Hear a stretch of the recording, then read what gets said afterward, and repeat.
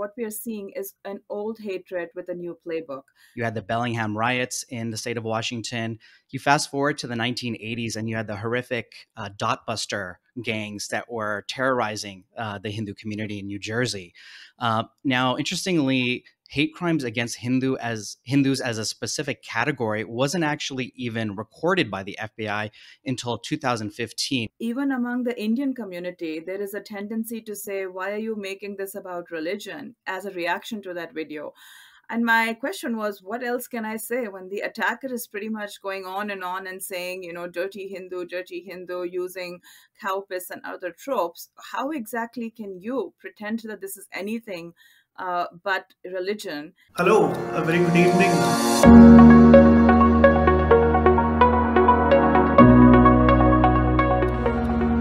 A very good evening, ladies and gentlemen. You're watching Swarajya Conversations with me, Sharan Setty. Today, I'm really privileged to be joined by uh, Samir Kalra and Pushpita ji. Uh, both are from CoHNA, which is Coalition of Hindus of North America and Hindu American Foundation. Thank you so much, Pushpita, Samir, and uh, we have Ujwal from Swarajya. A very good evening to you and a good morning to you both. Good morning, Namaste. Thanks so much for having me. Namaste, great to be here. Namaste, great to have you here. Uh, I, I wish we could have had this chat uh, on a little more positive premise, but unfortunately, we are seeing a huge resurgence uh, in terms of the attacks that are done on Hindus across the world, and I think America has been in the news as well.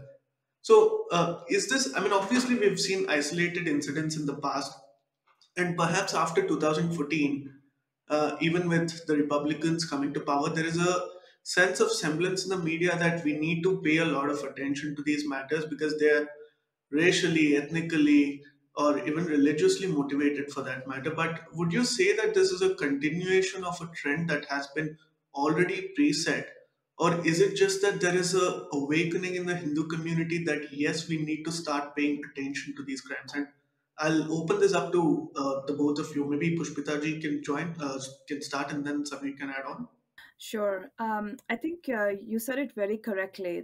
There has been a resurgence, but this Hindu phobia predates any current dispensation, whether it's in the US or India. And if you look at it, uh, in July, there was this uh, really groundbreaking research that came out from Rutgers University Network Contagion Research Institute. And uh, I'm sure you've seen it. I know you guys have talked to the authors. Uh, but I think one of the things that struck me in the foreword from the former Attorney General of New Jersey was this phrase that he used that what we are seeing is an old hatred with a new playbook. Uh, so, hate against Hindus is a very old problem, um, including right here in the US. So, I think it is very, very important to keep that framework in mind as we look at all the incidents uh, that we are facing. And uh, the Hindu community really needs to wake up to the fact that you know they're always surprised why why what happened what's the hatred and you know just have to realize it's there it's not going away so learn how to deal with it Right. I don't mean to trivialize uh, this issue when I say this, but when we hear about gun violence in America and other racially motivated crimes, uh, hate crimes that happen, uh, do you think that there is a sense of feeling in other communities when they hear the term Hindu phobia? Perhaps it's being amplified more than what it actually needs to be treated as, as perhaps a normal hate crime. And obviously, I'm thinking from a different perspective so that we can address that concern as well. So, is this just another hate crime, or is this actually targeted and Hindus need to be a little concerned about this, Samir? Sure. So, if I may, just to step back for one moment, um, you know, just talking about hate violence against the Hindu community, I mean, we can first of all go back to the early 1900s and some of the anti Hindu, anti Indian laws that were instituted in the country, particularly states like Washington, um, in California. You had the Bellingham riots in the state of Washington. You fast forward to the 1980s, and you had the horrific uh, dotbuster gangs that were terrorizing uh, the Hindu community in New Jersey. Uh, now, interestingly, hate crimes against Hindu as Hindus as a specific category wasn't actually even recorded by the FBI until 2015 when there was initiative by HAF and a number of other civil rights organizations to add uh, specific categories to the tracking by the FBI of uh, hate violence. So there was an anti Sikh category, anti Hindu category, anti Buddhist, anti Arab category that was added. So the violence has definitely been there. The anti Hindu hate has definitely been there. It's being recorded more recently, uh, better, um, but it's still not being recorded properly. Um, that deals with number one, the fact that law enforcement agencies aren't really aware of what Hindu phobia looks like or what anti-Hindu violence look like looks like. And I think to Pushpita's point, that report does a great job of helping to lay out what Hindu phobia actually is and what it encompasses. Um, and if you look at how other communities are uh, viewing some of the recent violence, I think it's it's not that they may look at this as lesser than. I think they just haven't been aware of it. Um, and there have been killings, uh, murders of um, of Hindus. Srinivas Kuchibhotla a few years ago was killed in Kansas. So we see violence uh, committed, severe violence committed against Hindus, and a track record of that. Uh, so I wouldn't say that you know people view it as less than. I think they just not are not as aware of it um, and and how it's happening. I, I, think the other thing to point out is that there's a difference uh, now. What we're seeing is that there's a perception that anti-minority violence is always committed by whites or white nationalists or extreme on the American right, extremists on the American right. But what we're seeing now is there's a trend of violence being committed from those that are within the larger Indian subcontinental diaspora. So the Khalistani groups have become more active. Both the Queen's Temple attack as well as the Fremont incident were committed um, ostensibly by pro Khalistani activists. Uh, so that's, I think, another important trend to keep in mind in terms of how the violence, uh, what we see of the violence today. This is extremely interesting because, um, in terms of our national security studies, if we were to look at the threat perception to India from uh, different insurgent groups which are residing outside of India, say North America alone, I think the government tracks and monitors the active threats that India receives from, say, Khalistani groups that are based in Canada but we never acknowledge the crimes that diaspora Hindus actually face in places like America, right? From those own groups. So, do you think that there is um, not much awareness, in, even in India for that matter, about some of the crimes that actually happen in America from, uh, you know, from from the so-called South Asian community themselves? Pushpita. Absolutely. Um, and not only is there a lack of awareness, even when incidents happen, there is outright denial or attempts to turn it back into racism uh, or something that feels comfortable. So I had a chat with Krishnan uh, just a couple of days ago, and we shared some of the comments that he was receiving. You know, even after his extremely horrific video that sort of I mean, I don't know which thinking person could look at that video and ascribe any. This is the Taco Bell video you're referring this to. This is the person in Fremont, right. California, Taco Bell, just down the road from both Samir and myself, and uh, it's pretty shocking. But even among the Indian community, there is a tendency to say, "Why are you making this about religion?" as a reaction to that video. And my question was, what else can I say when the attacker is pretty much going on and on and saying, you know, dirty Hindu, dirty Hindu, using cow piss and other tropes? How exactly can you pretend that this is anything uh, but religion? And then how can it be racism when, you know, everyone's from the same race? So I think this incident is so important because in a lot of the other incidents, you don't get these very clear cut distinctions. So people quickly try to paper it over, trying to say, well, it's anti racism, it's anti Indian hate. And of course, both of those exist. I mean, the fact that there is specific anti Hindu hate, uh, people sort of see it as a zero sum game, right? That if I exist that re- uh, Hindu hate exists, uh, I am going to deny that there is racism, which is a silly yeah. way to look at it. Because you can have yeah. you have a lot of racism just based on skin color. You can have hatred based on country of origin, and you you can and do have uh, hatred based on religion too. So I think that piece is very important for the community to recognize, for lawmakers, law enforcement, and actually for the Indian government too. And we see it all the time. This uh, this desire especially i think indians are very guilty of it uh, this desire to always sort of, especially for the diaspora community, to always suppress everything as Indian. And again, we are all multiple identities, right? Uh, we are of Indian origin, we have a certain faith, uh, we are a certain skin color, we are part of certain work communities, we are part of regional communities right here in the US. Uh, but there is this tendency in India to boil us down to being nothing but, you know, diaspora Indians. And I think that is also part of the problem that, you know, the, the religious aspect gets buried in it. I remember having this very interesting conversation with Suhag Shukla the last time uh, uh, she and I had a conversation. And basically, we arrived at a point where we were sort of going through the popular literature, popular culture, and how it represents a lot of these uh, stereotypes of India and South Asia in general. And many of the stars today, without taking any names, if you look look at the biggest stars on Netflix and Disney and on Amazon, most of them belong to the quote unquote South Asian community, and uh, many of them even acknowledge Islamophobia as a concept. Right now, I don't have a problem if somebody from the Muslim community says, "Hey, look, after after the war on terror was declared, there's a lot of hate crimes against Muslims happening because we belong to a certain ethnicity." But my question is, why do you snatch away the agency from Hindus as a community? I mean, even they can, they are people too. They're not Martians. Even they can be targeted. So, do you believe that the community, um, you know, that represents uh, South Asia in popular culture has actually denounced this and ignored this for a very long time, Samir?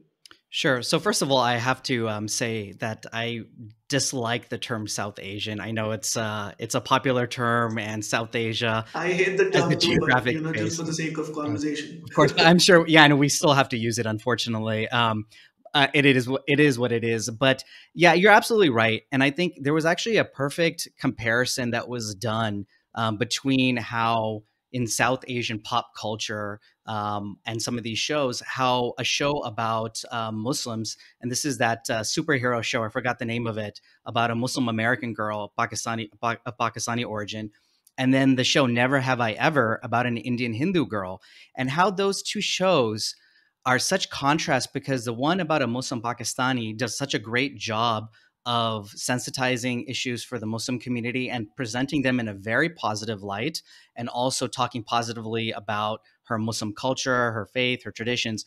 On the other hand, never ha- never have I ever almost trivializes uh, being Hindu, and um, you know, it, instead of talking about the beauty, the, the nuances, the pluralistic nature of the tradition, it just kind of turns it into a caricature of Hinduism. So it is definitely present unfortunately, I think the fault lies on these uh, actors, these uh, you know production companies themselves, and it's coming from the community. It's coming from us as Hindus. Some who are in Hindu in name only, or some that are identify more South Asian. They're the ones responsible for trivializing their own identities and always not either not wanting to recognize that these issues are there and not wanting to portray their culture positively, uh, or just focusing on issues that are affecting Muslims or talking about Islamophobia. So I think it's it's present, and unfortunately, the the fault lies with our own community itself, and those that are in those positions right. to actually do something about it are not taking the opportunity to. I remember just about a year ago when I was talking about this issue um, when I was with a different platform. Uh, the debate was all about to get Americans uh, to recognize that you know swastika is not what is associated with uh, Nazi Germany, and that that was the big movement in America because you know people were, were generally confused, and this is not merely because of people's uh, people being unaware or being misinformed, but rather it is deliberate disinformation by certain people in certain universities. Uh, this is some sort of a, a left academic nexus that happens globally that is also connected with India so, uh, would you say, Ujwal, that this is some sort of a global nexus that has certain repercussions that we've not been able to sort of track and Yeah, acknowledge for so a very long time? what I believe is that as dharma it itself represents the one unfinished project, as a lot of people say that we are the one last remaining pagan civilization in the world. It represents so in a world where the world has been washed over either by one faith uh, of one of the two Abrahamic faiths at that time, Hinduism represents the one lasting civilization that has lasted over thousands of years and still is an is a living, breathing civilization. So what it represents is an unfinished project, and therefore a lot of forces on all the sides are clamping down on it to somehow be able to fasten the project.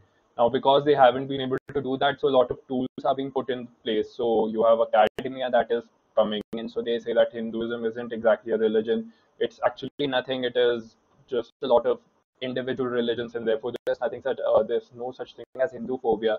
They'll tell you. So they'll essentially be very much uh, active about and vocal about uh, hate against Christians or hate against Muslims, but when it comes to Hindus, they're divided into groups that this is hate against one group of Hindus or the other. So first of all, that Hindu unity is not uh, ever made a reality. And other than that, academia jumps in because it just becomes a point, you know, and a point of good academic research that it shows you off as more sophisticated and more open-minded. That you're just against uh, speaking against uh, speaking in favor of these, um, let's say, uneducated people that you know who don't know what their interests are, and therefore the academia will jump in with whole leftist nexus, and then the NGOs jump into the whole thing that we are essentially going to. Uh, so the proselytization project mixed with the education project mixed with the the NGOs jumping in and they are getting their funding from abroad who are essentially seeing that India is a very you know fertile ground to essentially spread unrest, and NGOs can be great handmaidens to do that. So ultimately, all of this just combines, and Hindus are, you know, that agency is snatched yeah. away from them, like you said, where we cannot even open our minds and open our mouths to say that there is something wrong that is happening with our community. Yeah, it, it's very interesting because uh, the crackdown on certain NGOs began uh, way before four five years ago. But today you see a lot of think tanks too being interconnected with politics and certain social and political organizations. Um, but uh, when we talk about hate crimes directed towards uh, Hindu communities and Indians in general in America, is there a certain demography or, or a particular region that it's spread out in, or it's throughout? You know, I've just been very curious about it, uh, Pushpita ji. If you could explain where exactly it happens, or is it region specific, or it's just spread out? I am not, I think we see it where you'd expect to, like where you find clusters of the Indian and the Hindu community. And in just the last couple of years, I mean, um, you, you like we saw some horrific signs last year come up in Atlanta, right, where uh, people actually plastered the neighborhood uh, with these signs that were very reminiscent of the dot busters, uh, basically saying no Hindus and no to the bindi. And then uh, we've seen repeated attacks. For example, the statues of Mahatma Gandhi, right?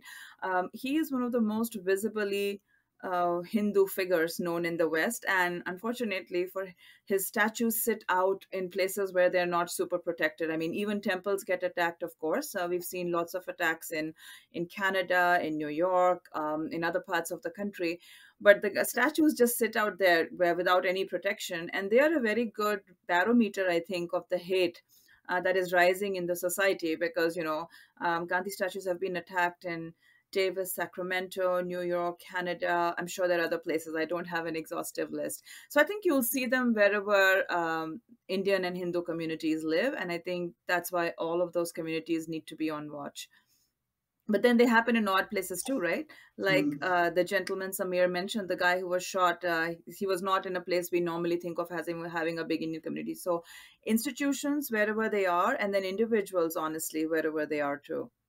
And as far as the legislations are concerned, um, I do see a lot of um, congressmen speaking up about this, or at least trying to represent the cause. Maybe there there is a certain amount of electoral benefit for them, but uh, you know, uh, keeping that aside, in terms of laws being passed to protect the community, um, what do we as a community have so far, Samir?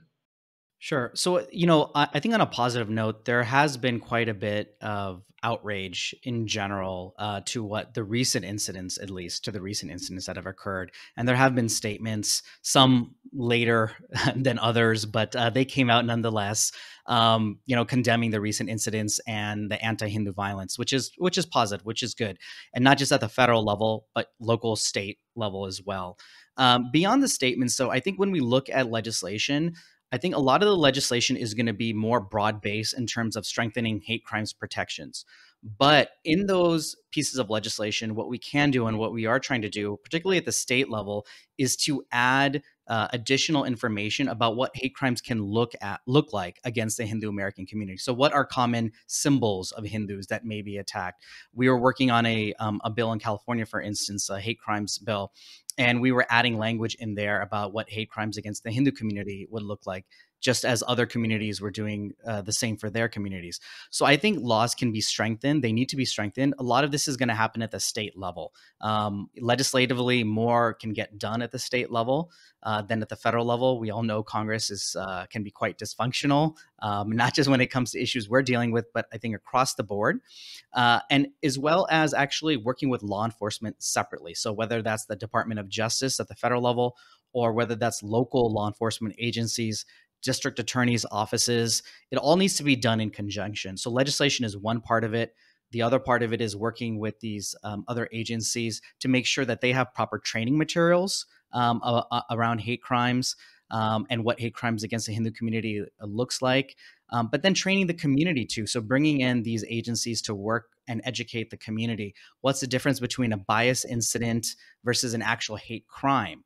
Right? So for if there's something that may be anti-Hindu in nature, may not rise to the level of a hate crime, um, but that needs to be our community needs to be educated about the differences, but that they should still report anything that occurs, even if it's not a necessarily a hate crime, but it's a bias incident, because we need to track that because a bias incident today could turn into a hate crime tomorrow. Um, so it, it, I think it, the work needs to be done at all levels, and going back to the schools as well, right? We there's a continuum. Starts with bullying in schools, can escalate yeah. into anti-Hindu uh, hate, hate speech, and at its worst level, uh, turns into a hate crime. And that bullying. Have there been incidents of that specifically, where in college or schools people have been targeted because of their Hindu origins? Absolutely, and it happens at the K through 12 level. It happens at the university level. Universities have become very unsafe spaces uh, for Hindu Americans. K through 12 schools oftentimes have curriculum that perpetuates uh, stereotypes uh, and propaganda, anti Hindu propaganda. Um, oftentimes, uh, teachers themselves uh, may be teaching in a way that leads to bullying of students. So it has to be, a, I think, a multi pronged approach that addresses all of these different areas. Um, I, I, I have a follow-up question for you, but I'll just quickly move on to Ujwal and then I'll revert in a minute.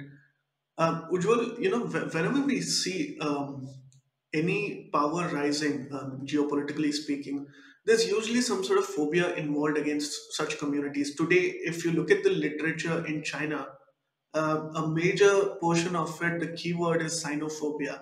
I mean, we don't acknowledge that because we don't have a lot of Chinese citizens residing in India uh, but that is a major part of the discourse. Uh, for instance, even during the uh, Russia and Ukraine war, Russophobia has, uh, you know, be, uh, has become very popular as a term in many of the state-owned media houses in Russia. So perhaps India has also been um, rising as a power globally and not just in the subcontinent. Do you see a, a certain parallel or a connection to these, you know, increase in hate crimes against Hindus related to India's, uh, you know, rise in the global stage, or perhaps? Yeah, so it, uh, it's not just very recent. You know, even 70, 80 years back when Pearl Harbor incident happened, suddenly there was this rising hatred against the Japanese in America. So the Americans were just sitting pretty out of the Second World War, and all of a sudden a country comes and bombs one of their biggest harbors, and suddenly all the Japanese who were living in America were all shifted to internment camps, their properties were taken away. So uh, it just happened. Now that is the first thing that it just happens over the time because when the world or anybody at large is used to, you know, let uh, let's say a bully is used to somebody being a victim constantly. So you're supposed to be meek, you're supposed to surrender, and now you're not surrendering, you're flexing your muscles. So of course the people who've been in power, who who are used to seeing you as the proverbial dead horse, who can you can just keep flogging endlessly and there'll be no reaction and now suddenly you're starting to stand up for yourself, they will get uncomfortable about it. Now, as far as Hindu phobia is concerned, you know, even in your premise, you mentioned post 2014. Now, a lot of it has to do with the fact that there was a massive political change in 2014, which was also supplemented by the rise of social media. Now, you can either call Mr. Modi's rise being, uh, you know, propelled by social media or social media and it, it's it's just a reinforcing cycle. We can uh, not get the starting point it either way. The Hindu community, which was till now, you know, constantly suppressed and shamed within India, that you have um, barbaric traditions and you are uncivilized people. Suddenly, we are starting to speak up for ourselves. We are starting to see that we are not going to look at ourselves from your lens, from the Western point of view. We are going to look at ourselves from our standards, our own viewpoint. And sadly, when the Hindu community starts speaking up, you have this rise of uh, the phrase called muscular Hindu nationalism that this uh, fascist Hindu forces are on the rise. Whereas all the Hindus are doing is all we are saying is that look, you keep a standard to yourself, we'll we'll take care of ourselves. We don't want your judgment. We don't want. We're not. It's not like we are judging your traditions. It's not like we are questioning you on your beliefs. So why don't you extend the same courtesy to us? So, like you said, you know, people are just used to seeing us in that uh, as the weak uh, player on the ground, and suddenly, if you start, uh, you know, rising Right. up and standing up for yourself, people, the powers that be the status quo people, they will of course feel challenged, and then they'll come out, come at you from all directions. So they'll come at you with, as in your religious beliefs are bad, or your, you know, academically you're not quite there. So all of those things happen, but I think Hindus will ultimately stand up for their interest everywhere. It is happening in India against Christian missionaries or uh, you know Sar Tan Se Juda. It's happening even in India. It's happening in America. It's happening everywhere. It'll just take time, but it is already unfolding. So I'm hopeful. Samir just mentioned, uh, summarized the history of Hinduphobia perhaps from the 90s, and uh, it was it was very uh, eye-opening because uh, I didn't know, know a lot of the things that you actually mentioned. Um, and if we look at the history of um, you know hatred, hate crimes towards certain communities, uh, even the Chinese, I mean, now it's very popular that uh, certain Chinese people of Chinese origin are targeted even in America because of the COVID 19 pandemic and all of that but even during the railroads when they were being built, there was an actual hatred driven to, towards uh, you know people from China, and I think these episodes keep on recurring in history.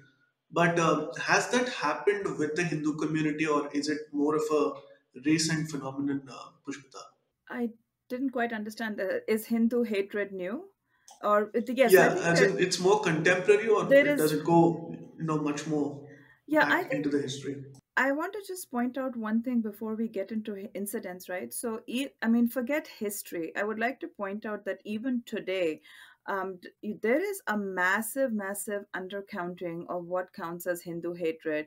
Um, my favorite thing is if you type the word Hindu phobia into your Google Doc or Microsoft, it's going to give you a like a little red squiggly line, which means it's not even still recognized as a word, despite the enormity of the crimes we see happening right here before us and despite Indians being uh, dominant in the tech industry and running both Google and Microsoft.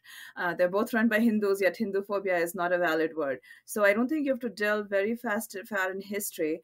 Um, the Rutgers report that I mentioned at the beginning, they also pointed that out that despite the massive volume of anti Hindu hate that they saw and they were shocked to kind of track, uh, they were surprised to see how it is largely uh, dismissed, not discussed, or denied.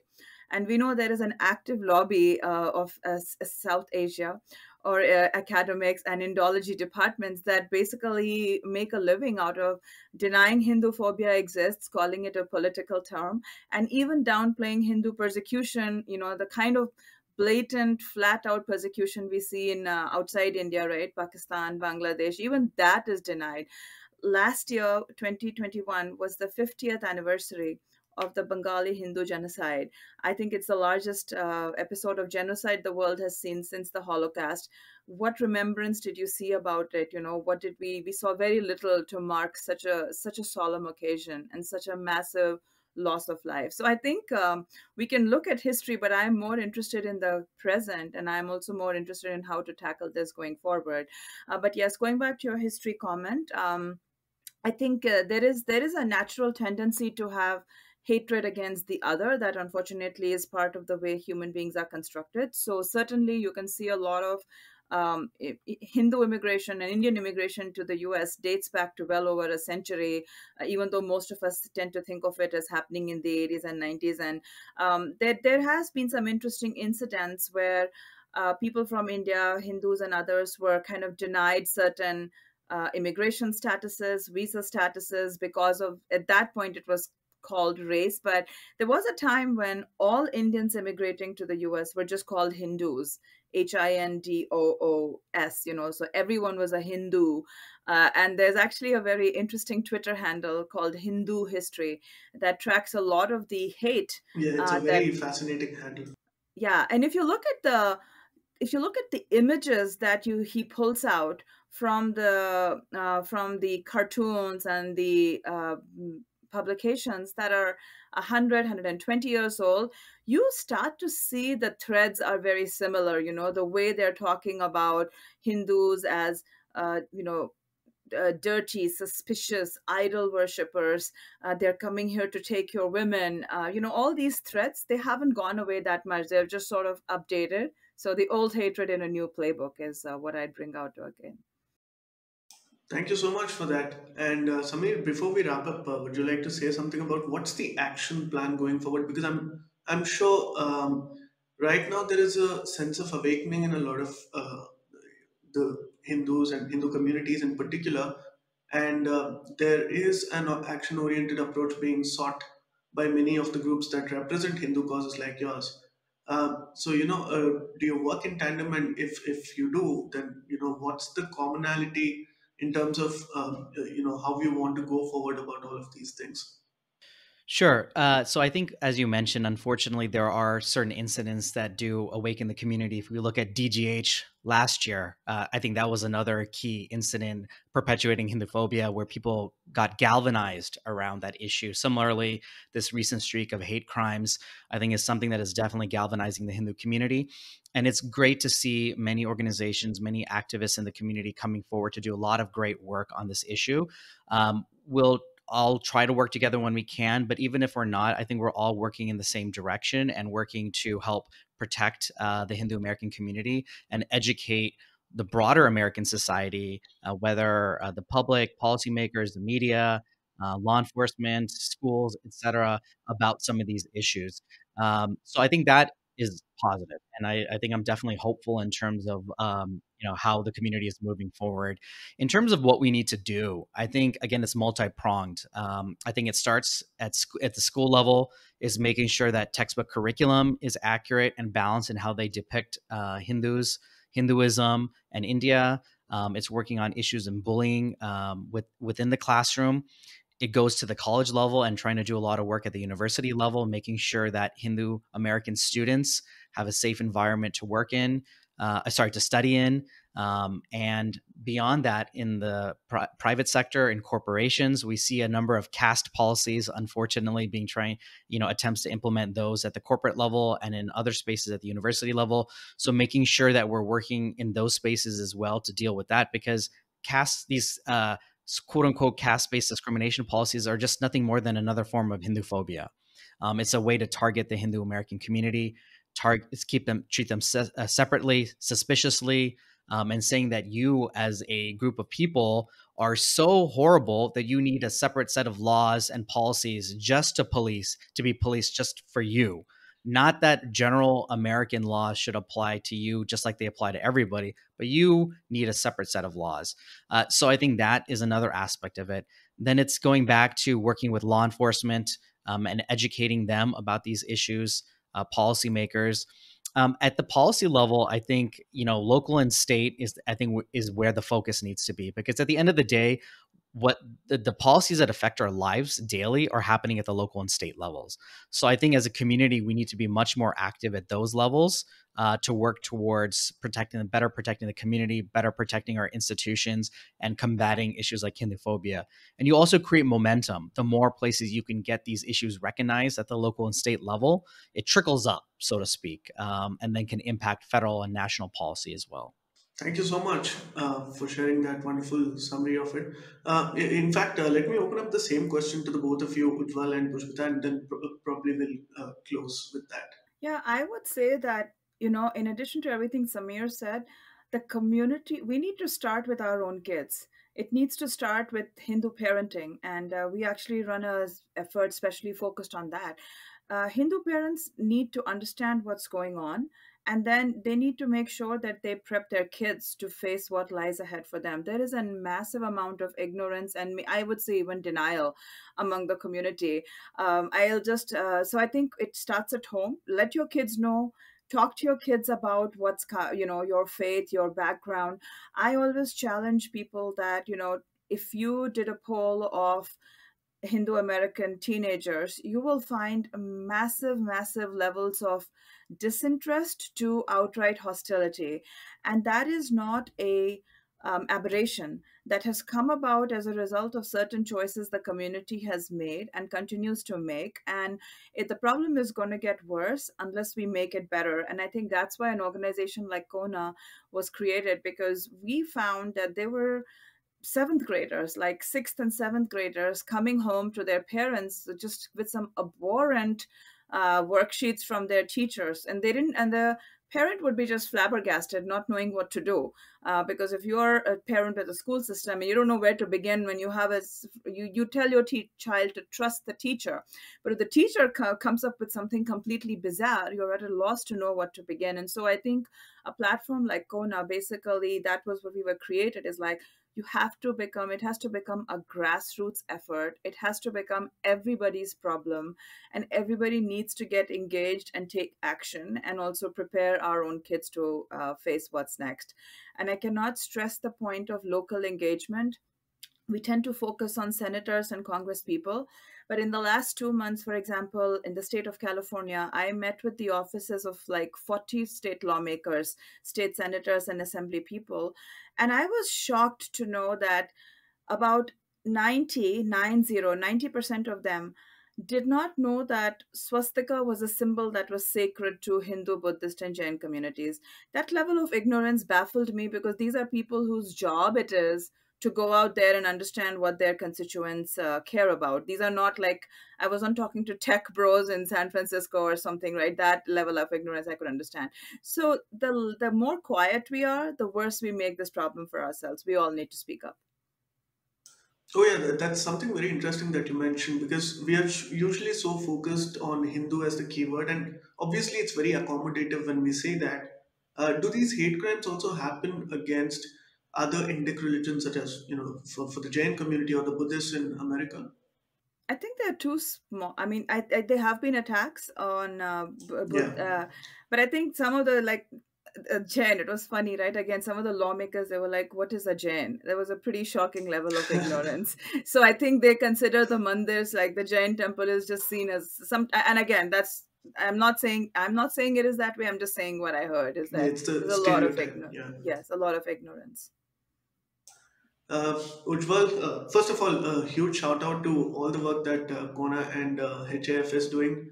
Since I've been interacting with a lot of uh, representatives from your organizations, I personally, at least I'm aware of 10 to 15% of the work that all of you all have been doing. And it's really amazing. And I feel that it's really underrated. And even in India, there's not a lot of awareness as to how our community is globally fighting a similar war. But we are all soldiers who are not aware that we're in this battle together. Uh, Ujjwal, your final words, and then we'll close. Yeah. So what I'm, uh, I'll just say is that when you're living with, let's say, in your own country, so there's always that level of affinity that you have with everybody. But when you move abroad, of course, there's going to be that difference between who the majority is, and then you'll be reduced to a minority.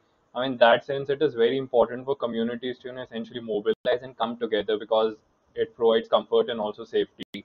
So what I've seen, you know, just living here and hearing about all this is that the Hindu community in America particularly has been, you know, of course, it is the one, the most successful community in America when you look at uh, the migrants there, but that is essentially because the Hindu community traditionally has kept their heads low and just gone about their jobs, become successful in lives. But now, because that hatred is on the rise, all the more political mobilization becomes important. That you start, you know, actually if even if you look at Donald Trump when he was the president and Prime Minister Modi went there, the Howdy uh, the Howdy Modi event, and then the Namaste Trump event that happened in India, and now if you look at the latest interview that Donald Trump has given, the Hindu community is mobilizing and the Indian American community is mobilizing, and it is a good sign because now they are in a position that even if there are politicians that are, that are actively wooing them, then just like the Jewish community or the Muslim community or let's say the Latin community, even the Hindu community can extract their interest uh, in return for that. But for that, the Hindus ha- will have to speak up and like we have Samirji and Pushpitaji, these organizations, they will have to align with these organizations if they want themselves to be safe and even their interests to be protected. Otherwise, you're you know living in a country which is essentially ethnically not yours, so you'll always they'll always be looking at you with that level of distrust or let's say the other. So you'll have to mobilize and protect your interests. That's the only way be it in this country or any other country, it always happens. In fact, uh, what we'll do is we'll put a link in the description below to both CoHNA and uh, HAF uh, websites. And in case somebody is not aware about what they do and how much you can benefit from it personally, because a lot of the literature that uh, I read about Hinduphobia came from both of these websites. Before that, I had very minimal understanding uh, about these subjects, and I think everybody in general who cares about Indians as a community living abroad has to read this.